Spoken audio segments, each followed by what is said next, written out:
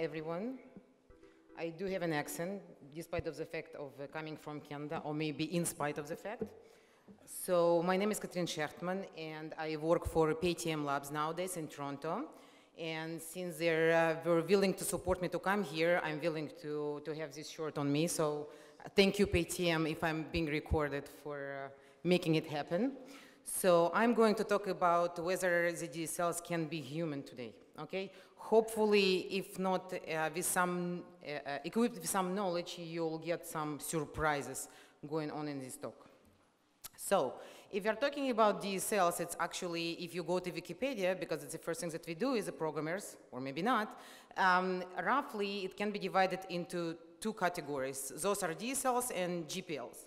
So DSL is actually, it's a language which is really specialized for something for the particular domain, where GPL, it's something very, very generic. So, if we are talking more specifically, it means that GPL sounds like it's something that we, as programmers, use every day. And DSLs, it's something are for more humans, people maybe with less knowledge than us, or maybe with domain experts with knowledge in the particular domain, but are not particular programmers. Not everyone knows how to code uh, nowadays. It's actually, it's uh, peculiar, but it is a fact.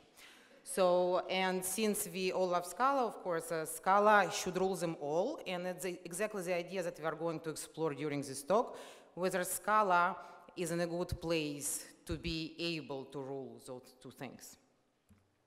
Now, let's talk about examples, because uh, I've been taught uh, as part of my consultant's job before, if you give examples to your clients, they can actually um, relate to what you're talking about. So, so for example, C, we know that it's a very generic language. We can do all the different things with it. While uh, SQL, for example, it's only for databases. Maybe less so uh, with Spark, you can do some other things as well, but generally speaking, for kind of storage uh, access for example, HTML, and let alone we can debate uh, about whether it's a language or not, it's for web programming, while Scala it's very generic in its purpose.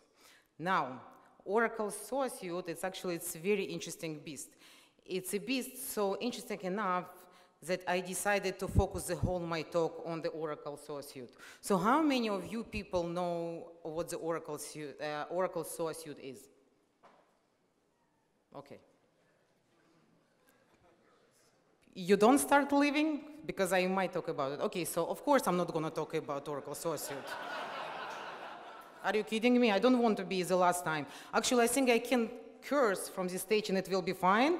But if I talk about Oracle Source it's my last time that I can be invited to the stage. So, okay, I'll take my chances. Anyways, I also, I'm not going to talk about whether Scala is a good language to create DSLs. I'm going to talk about given Scala, what the limits for the Scala to accommodate human beings. So, once again, as a disclaimer, as a reminder, we are going to talk about human DSL, okay? Not the DSLs that we are so uh, being used to, human DSLs. So, once again, domain-specific languages in Scala, and I'm not kidding, there actually there is a, a, lot of examples that we use every day. Some of them, for example, Slick and Akka. I'm not gonna say which one of them is uh, better and which one of them is the worst and which one of them is scary and which one of them is not. We all know what it is. There is also in Scala custom APIs that we as developers sometimes develop and sometimes use they might be broad range of domains. It could be math, it could be finance, it could be health, it could be whatever, right? Or even other language. Mommy, it's basic, wow.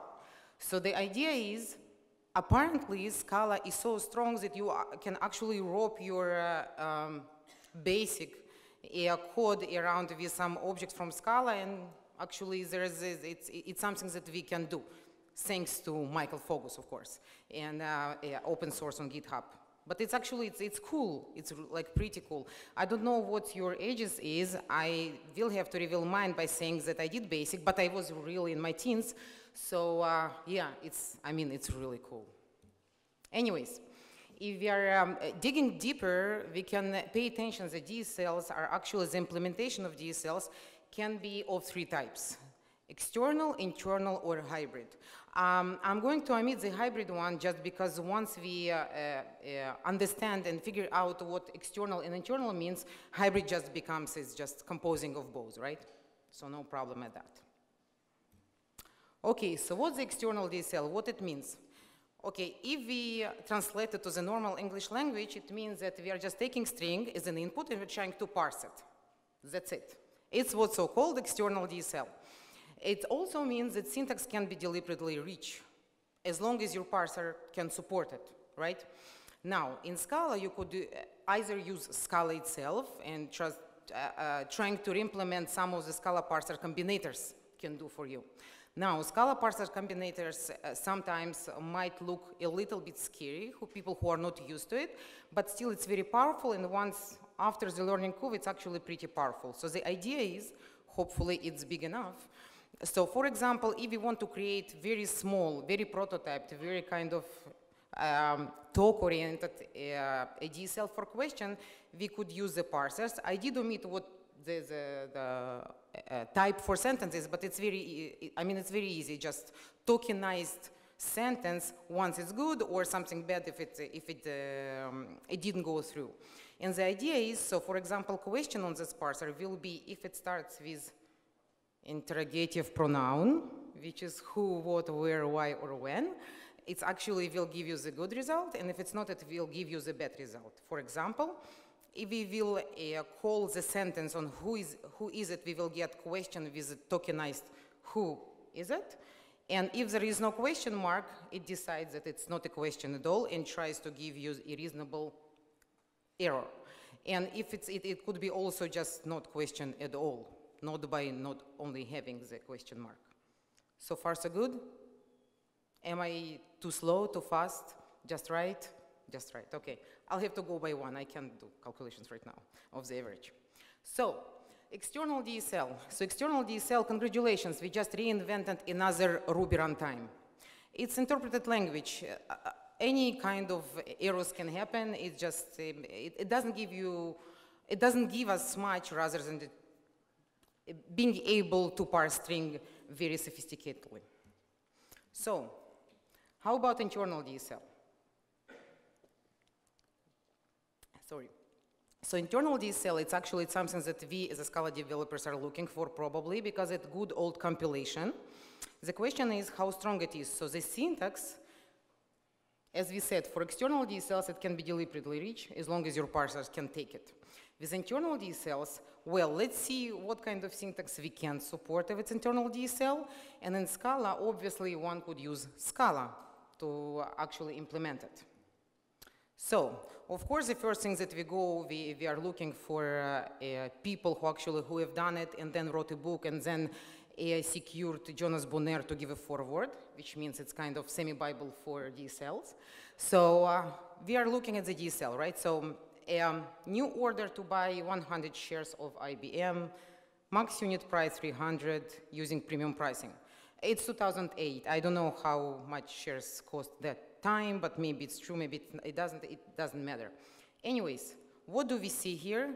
We can see, and we, as we will see in the next slide, a couple of different tools of trade, how we can implement it. But let's sever, sever, take it in, this DSL for a second, okay? Let's think, how does it feel? Okay, as a programmer, when you see this and you, and you have to use it. Now, I'm totally, I'm not giving any judgment for Debasish. Actually, he's a really good guy. I had the pleasure to work with him uh, during my time at Lightbend. It's not about that. It's about a very different point. Okay, so we took a look, right? Let's continue. So tools of the trade, we used implicits because we had to convert to implicit uh, conversion to pimped int, right? Because we wanted to call shares of 100. We used higher order functions because we wanted to use the pricing, right? We used, we actually didn't use, or in this sense omitted, dots, semicolons, and stuff like that, just to make it feel more natural, kind of, not kind of programming language, but rather something that um, makes sense for human beings. Uh, we didn't use here specifically, or Debasish didn't use uh, operators, but we could use operators like methods, and then we will get like this, or this, or anything else that we can fancy. Something that we love is Scala programmers, and everyone else uh, in industry hated Scala for exactly the, the same reason. And of course, we used currying. It's because uh, for John, as you remember, we decided not to let him choose what kind of pricing he's going to get. He's going to get the implicit one, which is premium pricing in this case, but it could be anything else. So far, so good? Okay. So maybe it's, yeah, it's after lunch, so I can continue to talk for another hour, I guess. Anyways, so how does it feel? Does it feel good? No, I mean it like who feels that they could use this DSL and feel good when you are now, when you compiling things and it feels good about it? Yes, no? So, so, okay, interesting. Uh, I will be interesting to hear why. So, but it does feel, as a programmer, it might feel good because we almost know where to put our brackets. We almost know where to put strings, where it should be string, where it should be type. Almost. Sometimes it betrays, but generally speaking, it, it feel it like programming language, which doesn't feel programming language for a change. So, but it brings me to the other point. And the point is, I actually wanted to create this slide, unlike human beings, we programmers, blah, blah, blah. But once again, I'm very politically correct because I come from Canada. So I omitted it and just left dots. Unlike dot, dot, dot, we as programmers are used to things like dots, semicolons, parentheses, and strings. I don't know if you do it on the regular basis. Uh, I don't do it on regular basis, but sometimes I do show some of my code to my kids, not just because they don't like code. They probably won't be programmers. But when they see it, they remind me that what I do, it's actually barely human. Not because I'm so cool, but because it's something else. So, so what's the idea? It's because when I see the first line, my voice starts trembling. I feel good. When I see the second one, I want to scream human beings don't understand those feelings. The normal ones, I mean, right? By the way, who can tell me if the second line actually compiles or not? Yes, okay, yeah. It does, yeah. It's quirky, quirky syntax and Scala, blah, blah, blah, blah. Don't get me wrong, I love Scala.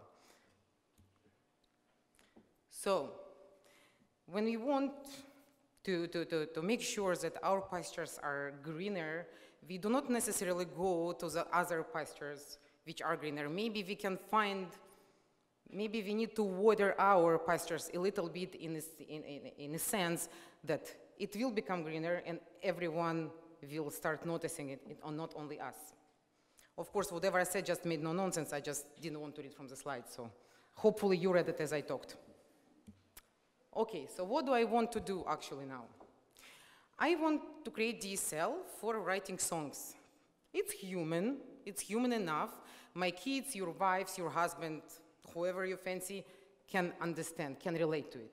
Now, as a disclaimer, I'm sure that there are people in the crowd that expect me to give them the full-fledged DSL just because it is, an, it is a talk. No, it's going to be prototype. It does go being able to compile, okay? So it's a prototype form, but it's enough to show the point. Now, another disclaimer, don't worry, you're not gonna um, have to, to hear my lyrics, okay? So it's something that I actually borrowed from the real world because it's much easier to connect. So are you ready? Let's see what we are going to compile. I don't know if I'm going to surprise you.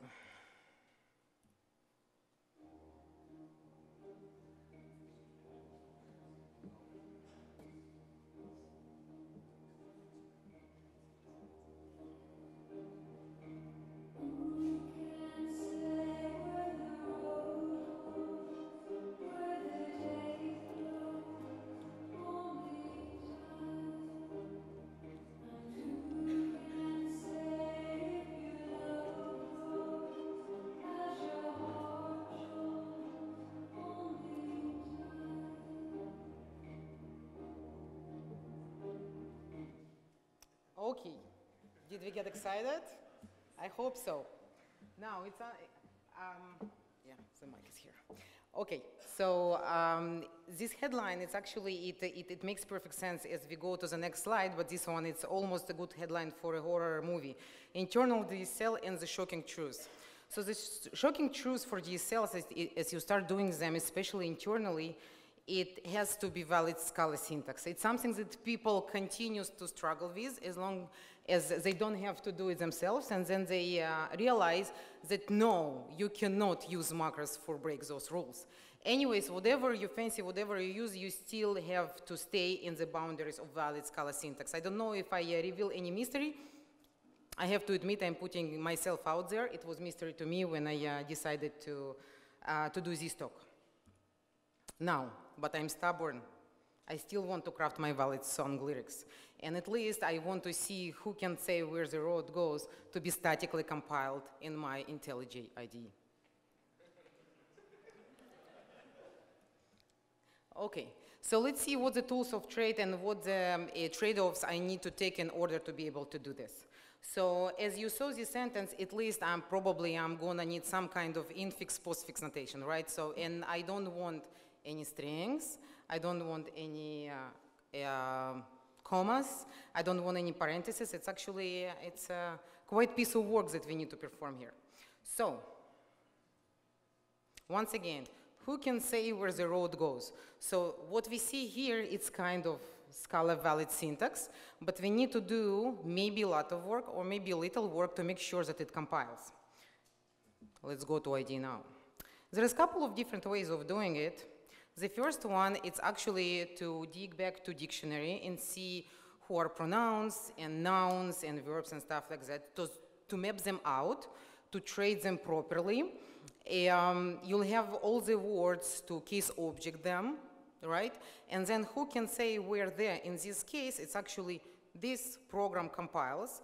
The only problem is that I already was tired by the time that I finished this one, and I have only one line. So I don't know if invented or invented, tedious is hideous. And I decided that it's not the way that I want to go with this talk. Let's see what the other way that I can use.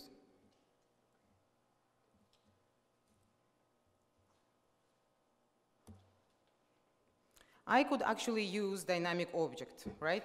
My dynamic object, it's actually extends dynamic, and it is a way in Scala to actually add any random or arbitrary, sorry, not random, any arbitrary uh, method on my class or on my object, just runtime, just like that.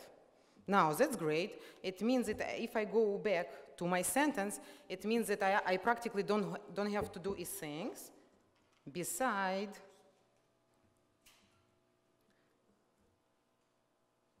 I'm going back to see, to, to show how it should look like. The only one thing, whoever is using your song here will have to remember that every second word, besides the first one, which should be the third, they have to be strings. And just because dynamic works the way it works, it should be string, let alone that we, that we back to runtime errors, which is more or less square one. Not good, not cool. We don't want to use it.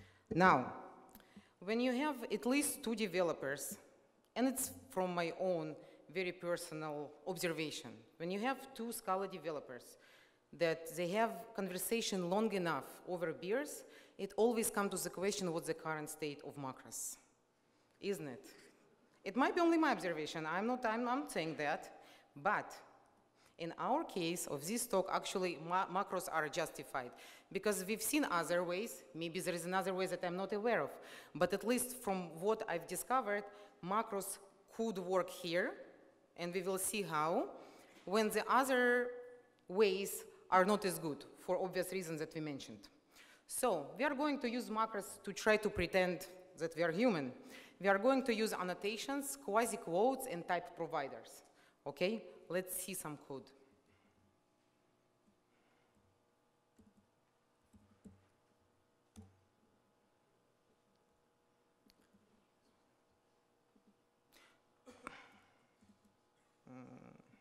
One second, please. Let's go to vocabulary. Now, there was a reason why I couldn't switch directly to this object vocabulary, and we will, uh, please remind me if I don't explain why it is, or maybe you already got the idea why. We will talk about it um, at the end of this slide.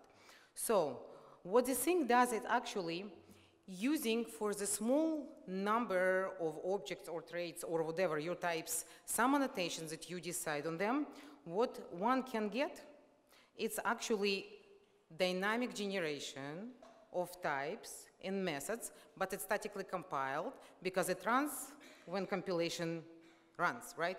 And the idea is, given the specific annotation, it will try to see what the trait, what the name of the trait, okay?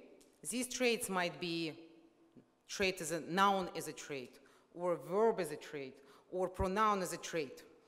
Given that I know that it's noun or instance of a noun, I can calculate the next possible words because I know that in English it's first going, I don't know, maybe noun and then verb and then whatever. And then I can calculate the next possible words. From next possible words, I will have to create, I will have to get the input in because it's what I'm going to get out from the dynamically added through compilation stage function. Those functions that I add automatically to my traits, I'll have to have also one more which doesn't return particular type, but it returns unit. Who can tell me why I need both? This one, when I add function, for example, I'm saying, who can know or whatever, I don't remember the exact words.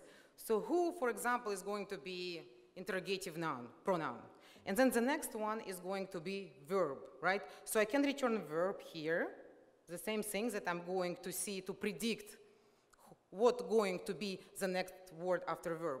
But what about the end of the, of the sentence? The end of the sentence, it means I have to have unit, right? So it is exactly for the case that actually it's the last word in my sentence. Now, the next thing that I need to do, and I'm through, I'm, I'm actually compiling right now my code. So I actually have to create the trait that annotation is being attached to. I'm adding my functions that actually is the next words, right?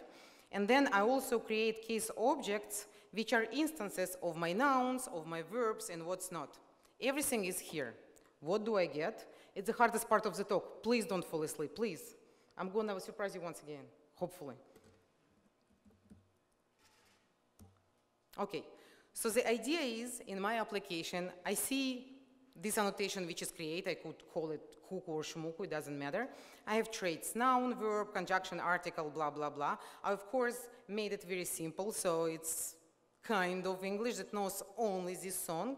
But the idea is, I have this song, let alone that it's red, we will talk about it in a sec. But there is a print line at the end of application. Should we run it? Yes. Yes, we should run it. I'll run it even if you say me yes or no. Here it is, it compiles. It's a valid Enya song that statically compiles and just runs. Okay, I don't know how about you. I'm excited. That's why voice is, my voice is trembling and not because I'm not prepared enough.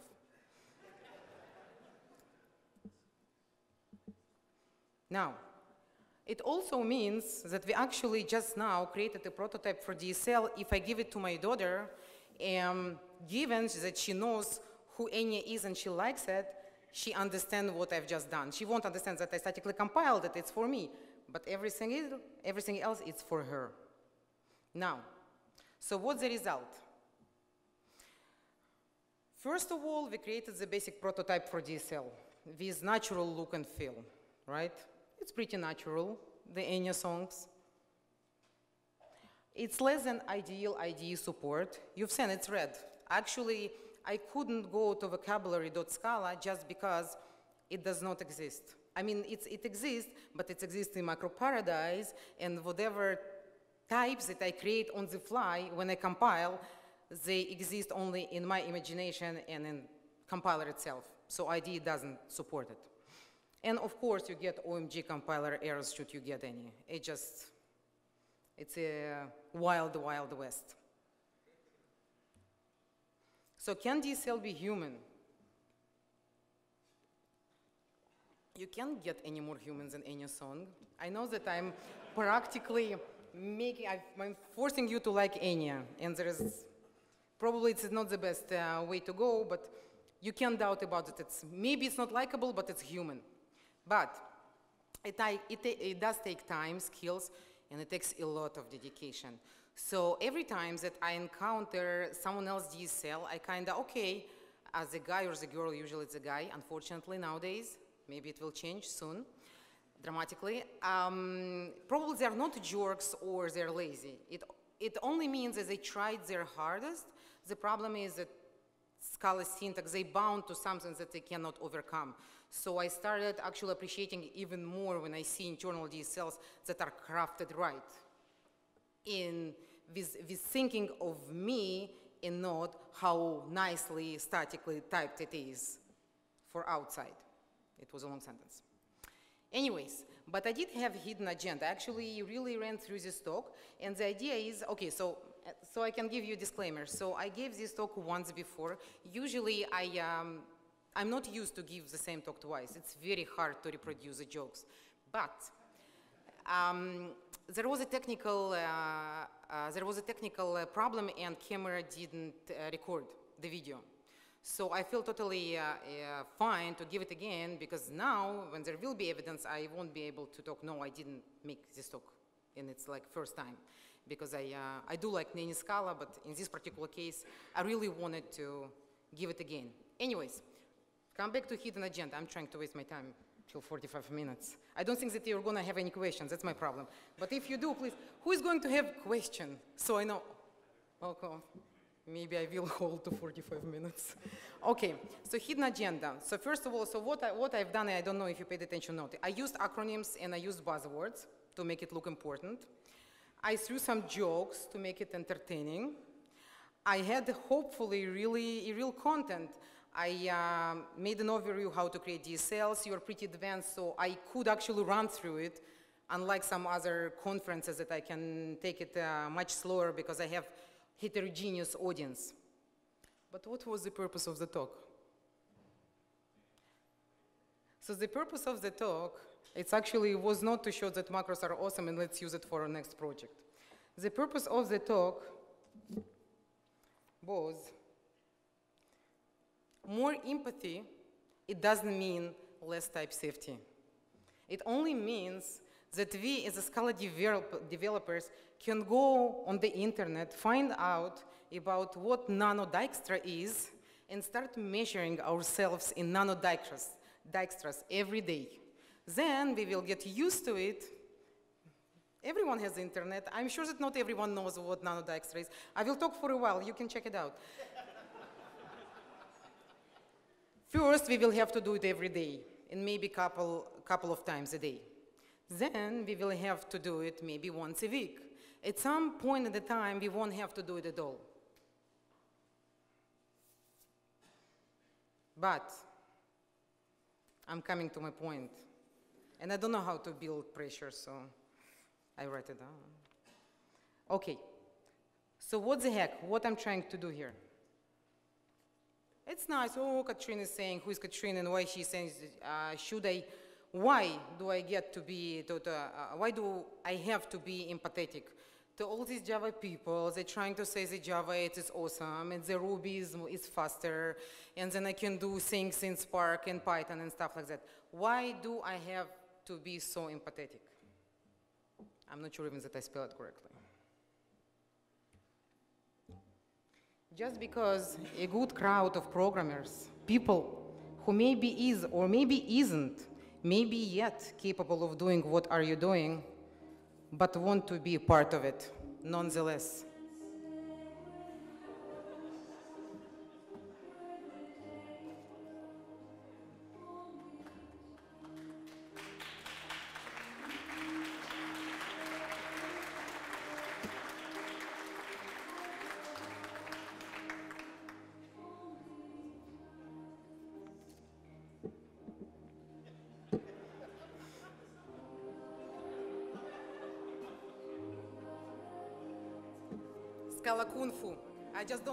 Video.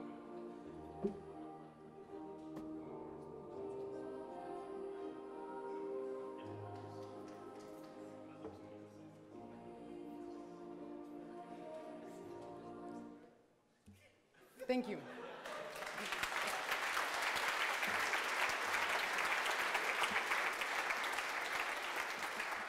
Um, I'll have to take some questions now, unfortunately, yeah.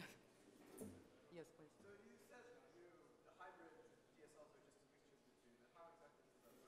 Uh, you can have your input as a string and then to have some uh, Scala macro plugin do something else.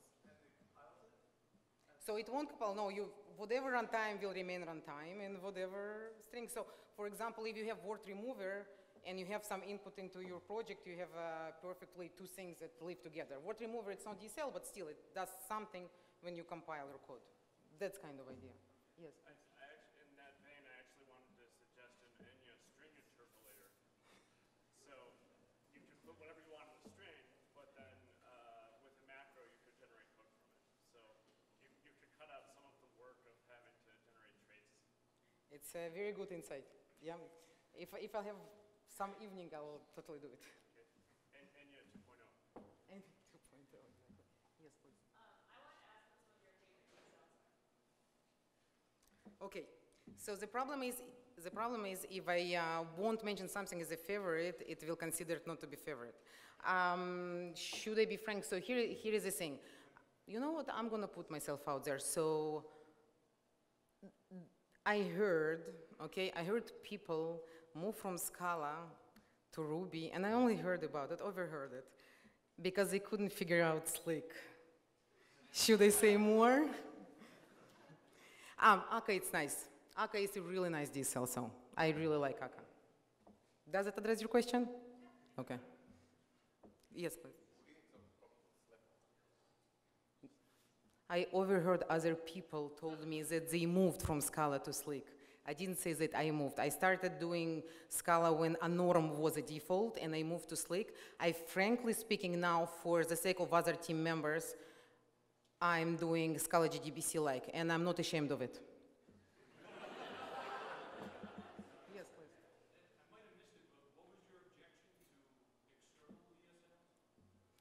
It's runtime. Yes, please.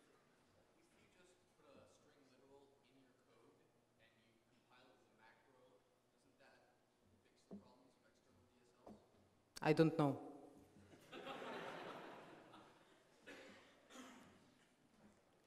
Anyone else? Uh, I, I'll switch side.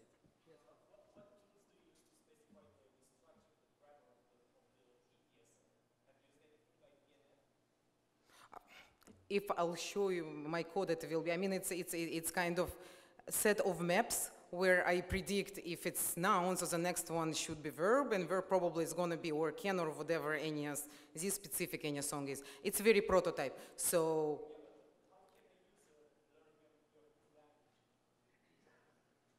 You go on the internet, uh, open YouTube with lyrics for Enya, and you're practically there.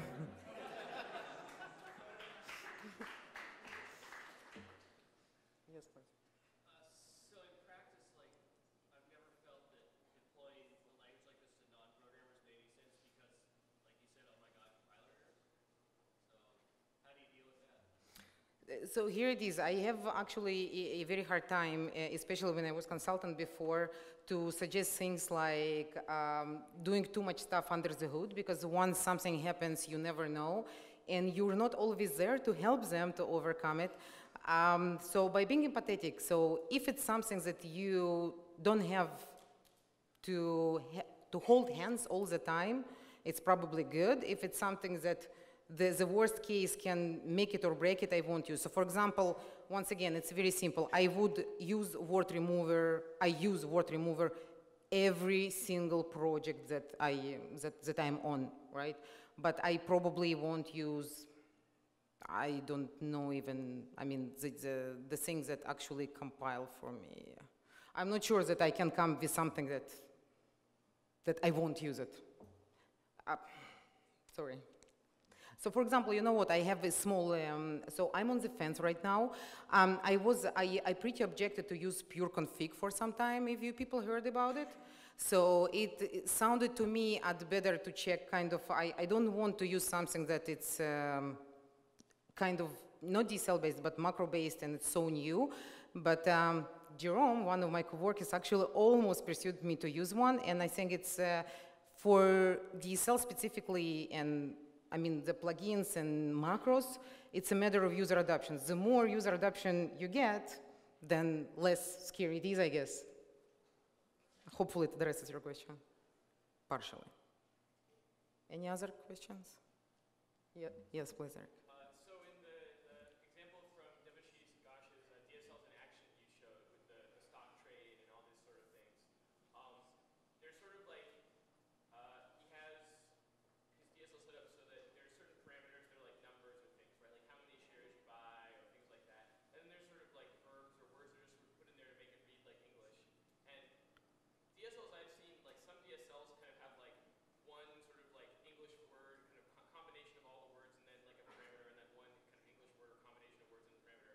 And others will have like a bunch of words, you know, like to, by, the, you know, all separate words. Do you have an opinion over like which of those styles you think is better?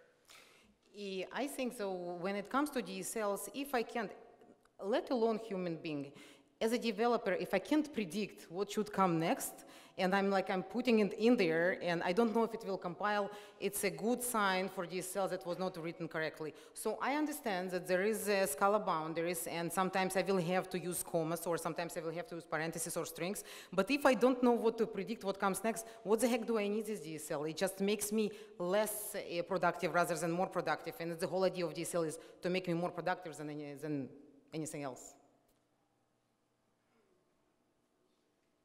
Thank you.